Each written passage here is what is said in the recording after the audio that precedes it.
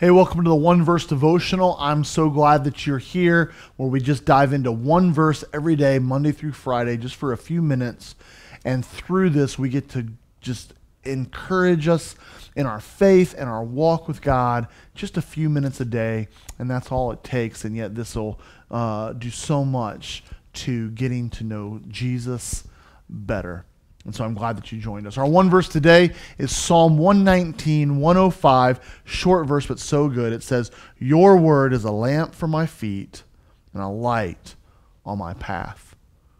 Have you ever walked into a dark room and you can't find the light switch, or maybe the, the lights go out, the electricity goes off, there's a bad storm, and, and what do you do? You, you, find a flashlight, right? Or, or if you don't have that, you get a candle or, you know, use the flashlight on your phone. That's probably what we do first, right? Flip the flashlight on our phone. And so that light shines in the darkness so we can see where to go. Without that light, we could stub our toe, we could trip over something, we could injure ourselves, or if we're in a room that we don't know, if we're in someone else's home or, or if we're outside, you know, you have no idea the dangers that are around you. You have no idea maybe where the exit is or how to get out of that situation. Well, gosh, what a picture for life.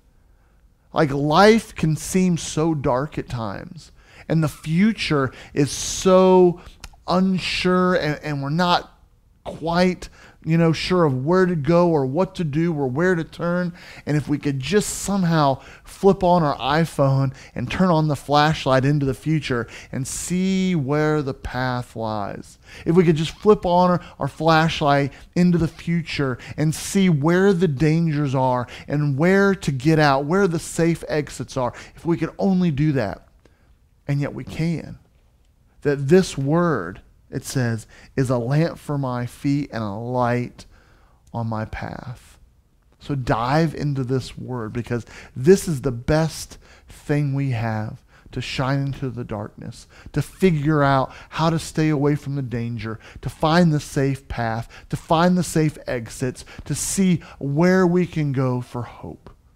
That's what this book can mean in your life. So dive in today, spend time with God in prayer and He will shine a light through the darkness.